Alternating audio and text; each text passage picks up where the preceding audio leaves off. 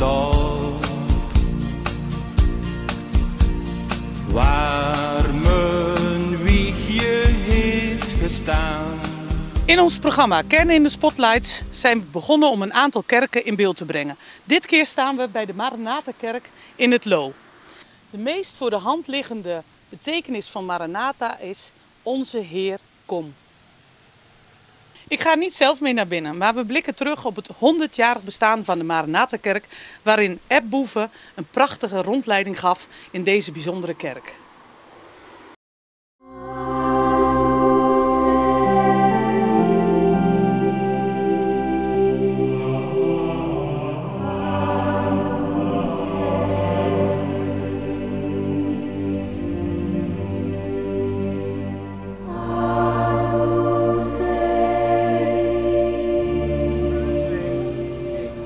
Ja, we zijn hier bij de Maranatha-kerk hier op het Loo in Oldenbroek. En ja, dit is het jaar, dus 100 jaar geleden, dat het ge- gebouwtje gezet is. De eerste steen die is gelegd door dominee Bekerkamp. En dat is de man geweest die ook aanleiding gegeven heeft hier om dus een, een lokaal te bouwen, een evangelisatielokaal noemde men dat toen. Hij had dus, eh, de conclusie was dus dat de mensen van het Loo en hier van de omgeving heel moeilijk naar de dorpskerk gingen. Maar ook vanwege dus, ja, dat in 1917, 18 in die jaren was de, de, mensen hadden niet zoveel geld.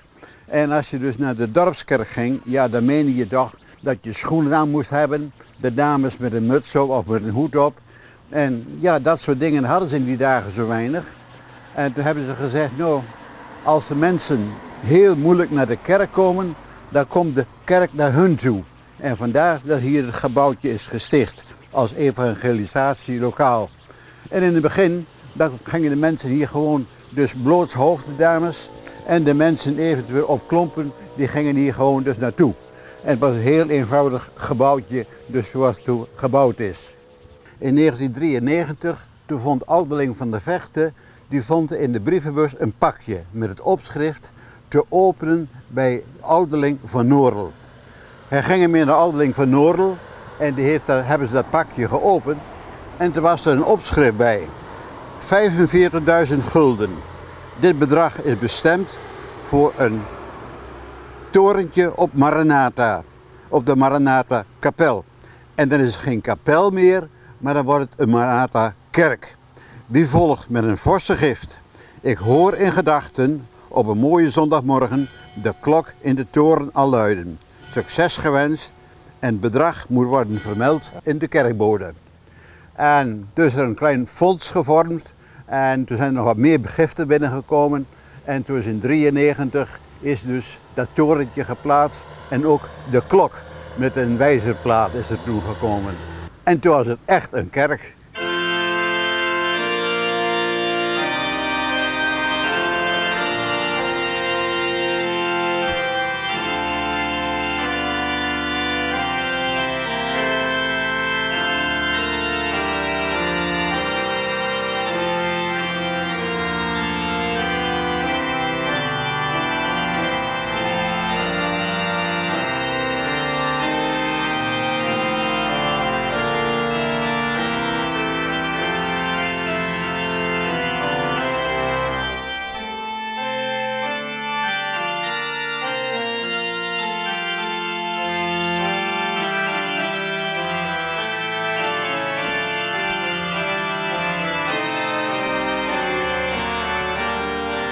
Ik zit hier in het oudste gedeelte van de kerk. En het oudste gedeelte van de kerk, er was in het midden stond een grote kachel. Daarboven kun je nog zien dat luikje, dus waar de kachelpijp doorheen moest. En aan de zijkanten kleine bankjes en in het midden stond een allemaal stoelen. En er waren er ongeveer 165 zitplaatsen. Dit doopfontein is eh, hier ook geplaatst en is gemaakt door Albert van Salk, was een aannemer in Oldenbroek, die woonde aan Rustenburg. En die heeft ook van dat mahoniehout dus ook weer het doopvond gemaakt. Het oude gedeelte van de kerk, dat was oorspronkelijk tot hier aan toe. En hier rechts van mij, er stond de preekstoel. En, en hier links van mij, daar stond het orgel opgesteld. En hierachter, er was een wand. En er was dan een klein Een zaaltje was aanwezig voor de zondagschool en als consistorie deed dat dienst. Dus dat gedeelte was er dus wel, maar werd het niet als zodanig benut. Dat hele meubilair, dus allemaal in 1966 is het allemaal gekomen. En mahoniehouten banken. En in 1966 is ook dat gedeelte erbij aangetrokken. En toen is de kerk dus uitgebreid. En in die periode is er gekerkt bij een boer hier in de buurt op de Deel. Omdat de kerk helemaal verbouwd werd. En dat is in 66 is dat geopend. En toen was er dus een ingeheel met ongeveer zo'n 350 zitplaatsen. Ja, voor die bouwerij was natuurlijk in de tijd heel veel geld nodig. En toen hingen er dus in de kerk dus ook de busjes voor het bouwfonds. En daar kon je dus wat geld in doen. Dus om het ja, proberen helpen te betalen aan de kosten van de bouw van de kerk. Het bouwfonds.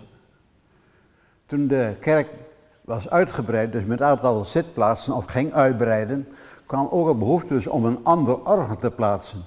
En toen werd een orgelcommissie gevormd onder leiding van mevrouw Donewaard Hoek en mevrouw van der Venus. Die hebben er heel veel voor gedaan.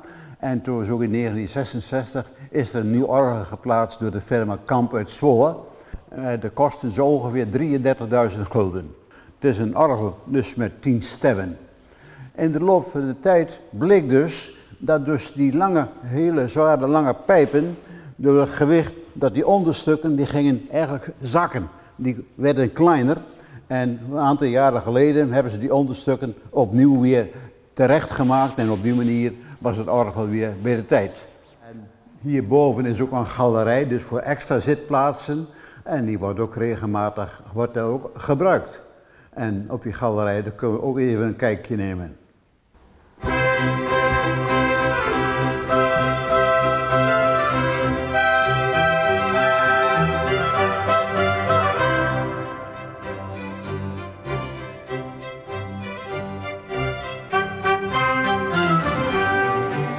Ja, hier zijn we op de galerij.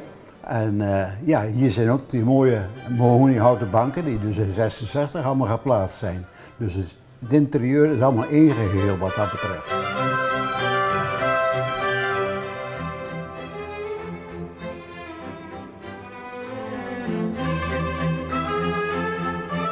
Ja, we zien hier dus uh, de hele kapconstructie, die is helemaal rond hier van boven. met de verlichting erin. En natuurlijk ook wat roosters voor de ventilatie.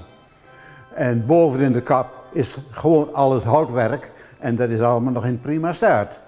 Die glazen en de ramen, die zijn in de oorlog een aantal kapot geraakt. En, en toen zitten ze van dat zogenaamde noodglas in geplaatst. En je kunt eigenlijk wel stellen, dat was eigenlijk een tweede soort van glas. Eigenlijk hetzelfde glas wat we vroeger bij de kippenhokken gebruikten als ramen. Dus anders was het niet te krijgen. In de loop der jaren was er wel gebrek aan wat meer ruimte voor bepaalde activiteiten. En in 1974 is deze grote zaal is gebouwd. De grote zaal die gebruikt wordt ja, voor de koren die hier repeteren, bijeenkomsten, conferentie, begrafenis en al dat soort zaken nog meer. En men kan eventueel ook wel gebruik maken van het podium, wat eigenlijk kerkenkamer is. Maar goed, dan kunnen die deuren openen en dan hebben we een soort podium eigenlijk. Ja, na 100 jaar is de kerk nog heel functioneel.